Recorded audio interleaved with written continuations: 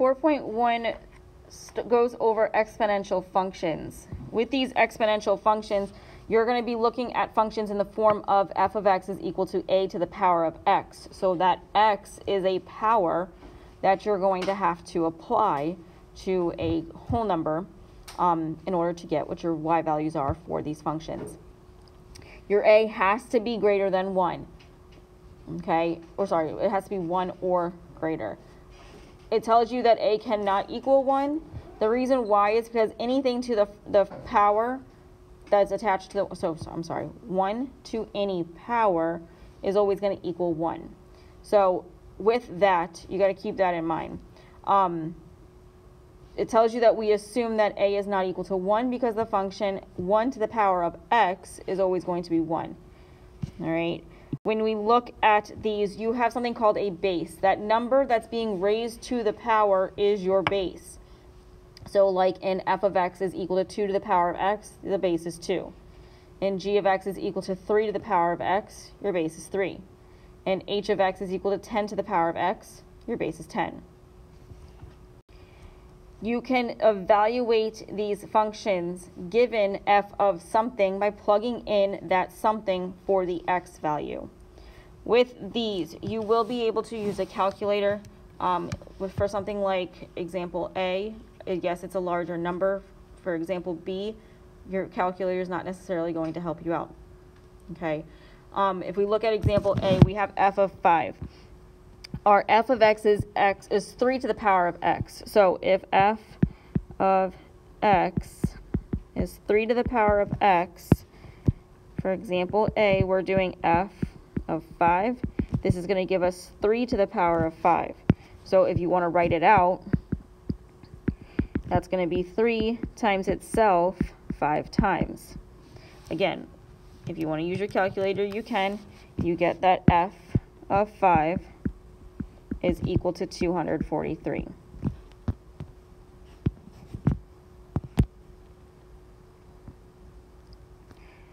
For B, we are doing f of negative 2 thirds. So this means that we're going to have 3 to the power of negative 2 thirds. Remember, we cannot have a negative power, so we're going to take the reciprocal of the term that is attached to in order to turn that power into a positive. So this is going to be f of negative 2 thirds is equal to 1 over 3 to the power of 2 thirds. So we took the reciprocal of 3, that's 1 over 3, and that 3 is still being raised to the power of 2 thirds, but now it's positive. Rational fract or rational um, exponent. Your numerator is the power, denominator is the index. So this is telling you f of negative 2 thirds is equal to 1 over the cube root of 3 squared. Well, 3 squared is 9, so this is the same thing as saying f of negative 2 thirds is equal to 1 over the cube root of 9. You cannot take the cube root of 9, but you have to rationalize your denominator, which means you cannot have a radical in the denominator. So we are going to multiply the top and the bottom by the same thing, the bottom we're going to multiply enough times to get rid of the radical. So we need 3 in total since our index is 3. We added 2 to multiply to the bottom, so we're going to do the same to the top. So we'll multiply the top by 3, or sorry, by the cube root of 9 times the cube root of 9. The cube root of 9 times the cube root of 9 times 1 is the cube root of 81. So f to the negative, or f of negative 2 thirds is equal to the cube root of 81 over the cube root of 9 cubed. If your root and your power are the same, they cancel out. So the only thing you have left is your 9 on the bottom. However, on the top, that 81 is 9 and 9. 9 is 3 and 3. If we're looking for a group of 3, this is going to leave us with 3 cube root 3. We can still simplify here because the 3 and the 9 have a common factor of 3. So that's going to be f of negative 2 thirds is equal to the cube root of 3 over 3. So ones like this that you have to rationalize your denominator take a little bit longer. But again, it's something you already know how to do, so it should be pretty simple. For example C, we have f of pi. So for this one, we're going to have f of pi is equal to 3 to the power of pi. 3 to the power of pi, we're going to use our calculator and just do 3 to the power of pi. We get 31.5442807. We're going to round this to the, um, the nearest thousandths.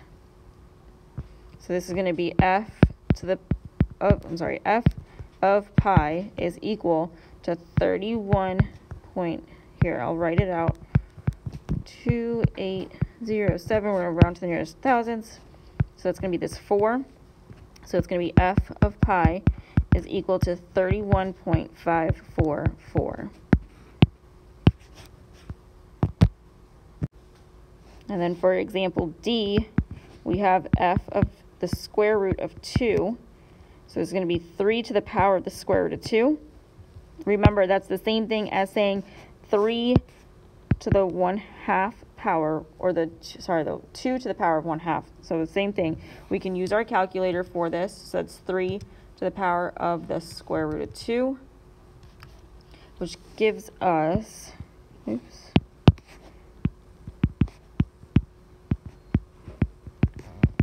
four point seven two eight eight zero four three eight eight.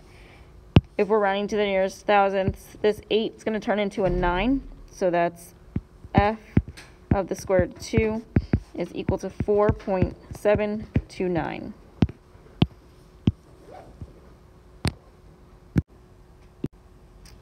When we graph these functions, it is a lot easier to give ourselves or to make ourselves a function table, which means if we are given something like f of x is equal to 3 to the power of x, we can do x, we can do y, we plug in values for x. Let's do negative 2, negative 1, 0, 1, and 2. For, this is going to give us 3 to the power of negative 2, 3 to the power of negative 1, 3 to the power of 0, 3 to the first power, and 3 to the second power. So this 3 to the negative 2, you are going to have 1 over 9. 3 to the negative first is 1 third. 3 to the power of 0, anything to the power of 0 is 1. 3 to the first power is 3, and 3 to the second power is 9. So when you go to graph these, you're going to have the ordered pair negative 2, 1 ninth. So it's going to be really close to that x-axis. Then negative 1, 1 third. Up a little bit. 0, 1, 1, 3, and 2, 9. From there, you just draw your line through those ordered pairs, making sure that you treat that x-axis, for this one at least, as an asymptote, so that line's not going to cross over that x-axis. For example, B, we're given g of x is equal to 1 third to the power of x. So again, we're just going to make ourselves a function table. So uh, we have x, we have y. Our function is g of x is equal to 1 third to the power of x. So again, I'm going to just do negative 2, negative 1, 0, 1, and 2. Plug these values in. So we're going to do negative, or sorry, 1 third to the power of negative 2, 1 third to the power of negative 1, 1 third to the power of 0, 1 third to the first power, and one third to the second power. So for that one third to the power of negative 2, take the reciprocal. It gives you 3 to the second power. That's 9. If we have that negative 1, one third to the negative 1, take the reciprocal. That's just 3 to the first power, which is 3. Then we have negative, I'm sorry, 1 third to the power of 0, which is just 1, because anything to the power of 0 is 1. 1 third to the first power is 1 third and 2 to the, I'm sorry, 1 third to the second power is 1 ninth. So to graph these, we have negative 2, 9, so that's going to be here. Negative 1, 3 is here. 0, 1 is here. 1, 1 third is about here. And then 2, 1 ninth gets even closer. So again, you're going to have an asymptote for this one. That's that x-axis. And that line will go up as it goes to the left through these points.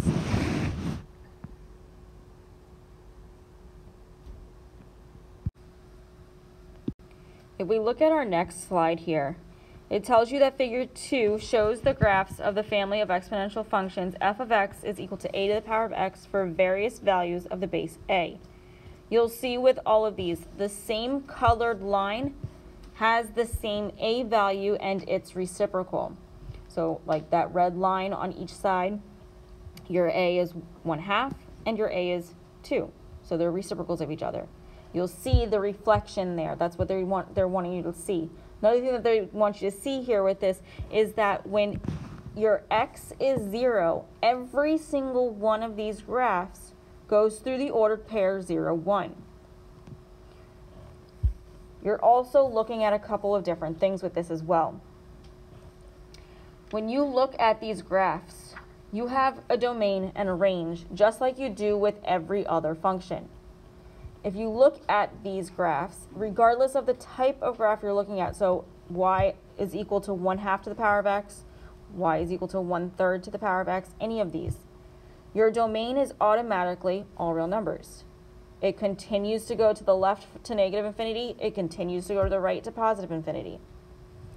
For your range, though, you have asymptotes with these, which means it does not pass, it, go, it does not go past a certain y value. So it either doesn't go below a certain y value or it doesn't go above a certain y value. So with that, you're going to have to take that into consideration with your ranges if it asks you for your range. So if it asks you for your domain, automatically you put all real numbers. For your range though, like with all of these, they do not pass the x-axis. So all of them have a range of y is greater than zero because the line stays above the y-axis. So with that, think about interval notation from negative infinity to zero with a union of zero to positive infinity. Okay. With these graphs of exponential functions, you can figure out, this is all the same exact thing, you can figure out your function based off of the ordered pairs that go, that, that, that the line go through. So if we look at example three, we're identifying the graph of each of these exponential functions. We know it's an exponential function because the way that the line looks. With these, your a value is what you're finding when you're given these ordered pairs. Think about f of x is equal to a to the power of x. This 2 in this ordered pair is your x. This 25 is your y. y is the same thing as f of x. y is the same thing as f of x. So if we plug these values in and solve for a, we can write the function for this exponential function.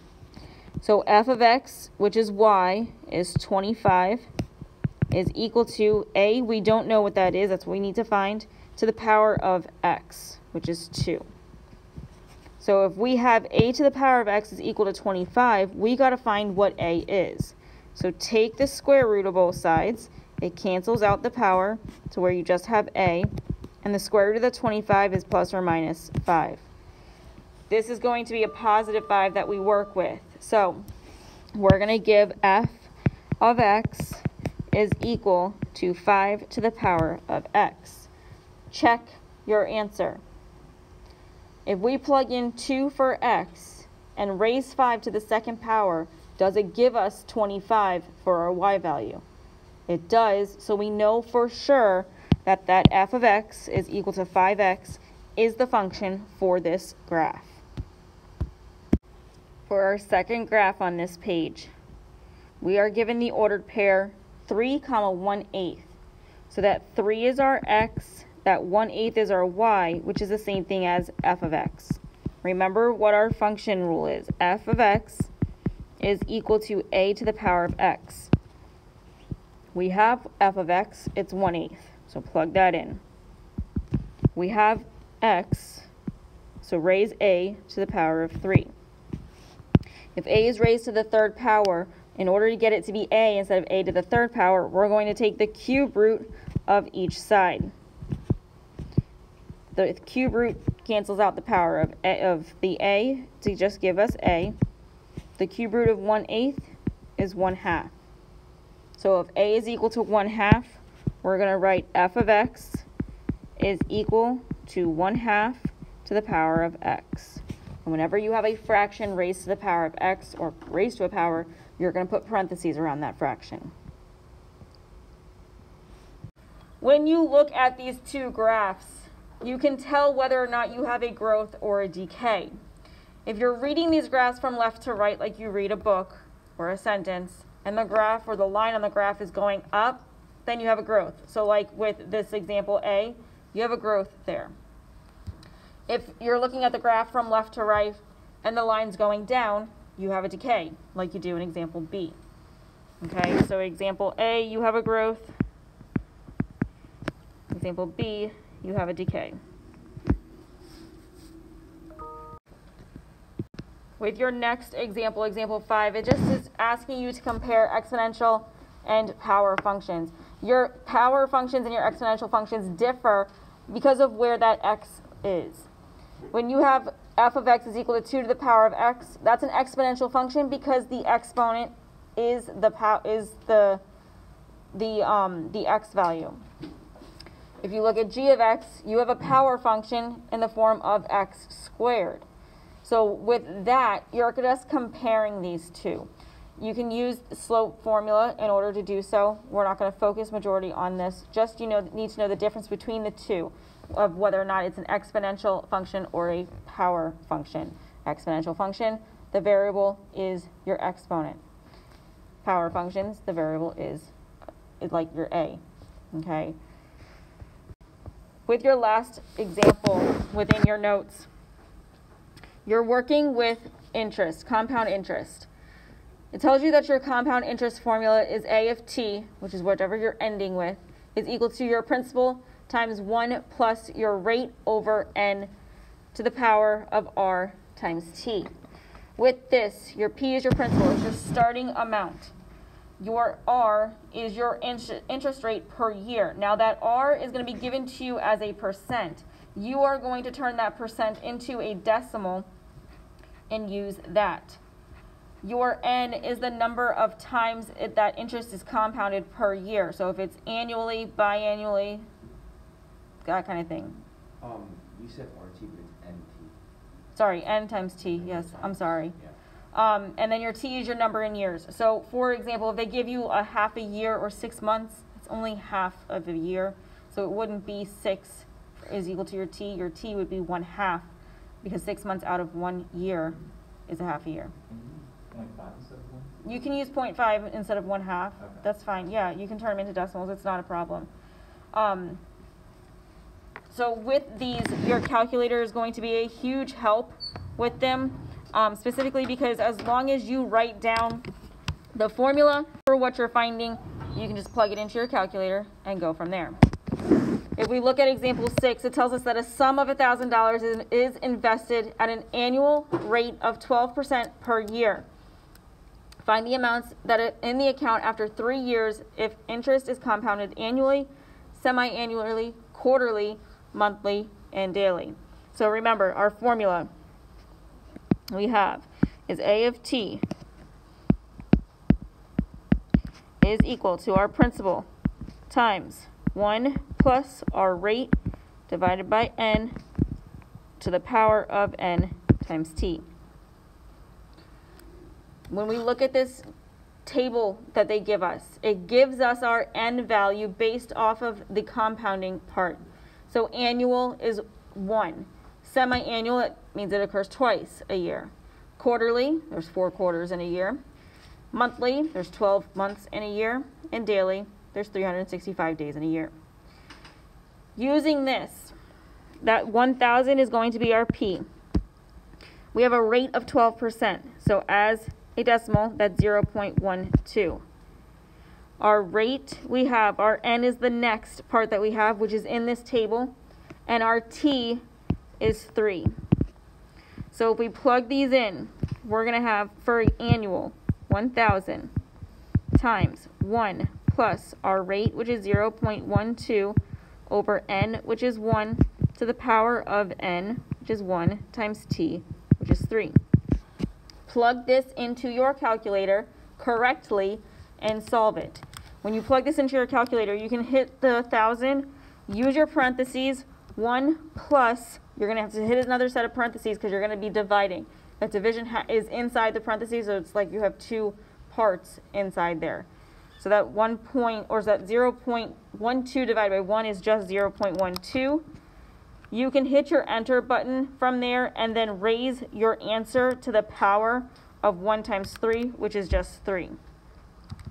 When you do this, 1000 times 1 plus 0.12 to the power of 1 times 3, which is 3.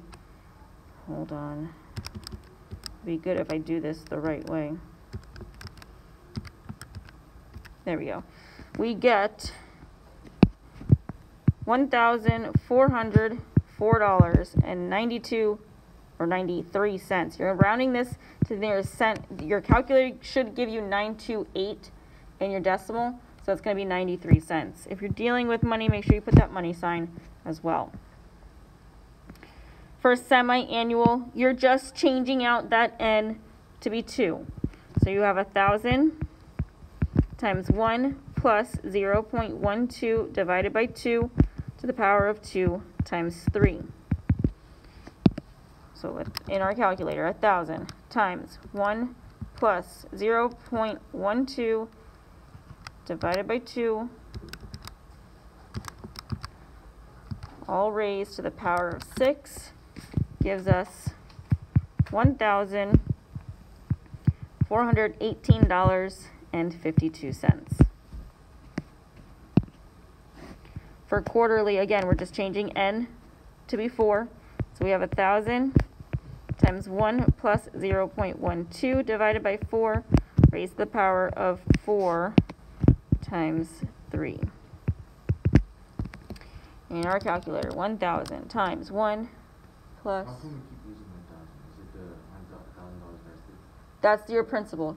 Yeah. Yeah, your, your principal is that starting amount. So if you invest the thousand dollars, that's what you're using for P. Yep. Mm-hmm, yes, it's your investment number. All right, so one thousand times one plus 0.12 divided by four to the power of twelve gives us one thousand four hundred twenty-five dollars and seventy-six cents. For monthly, we're gonna do a thousand times one plus zero point one two divided by twelve, all raised to the power of twelve times three. So using our calculator,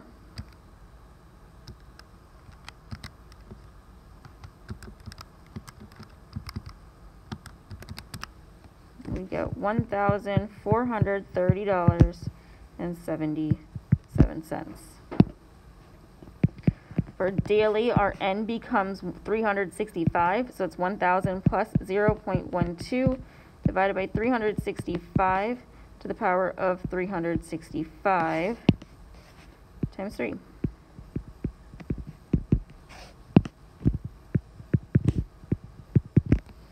So 1,000 times 1 plus 0.12 divided by 365 to the power of 365 times 3. Oops. Hold on.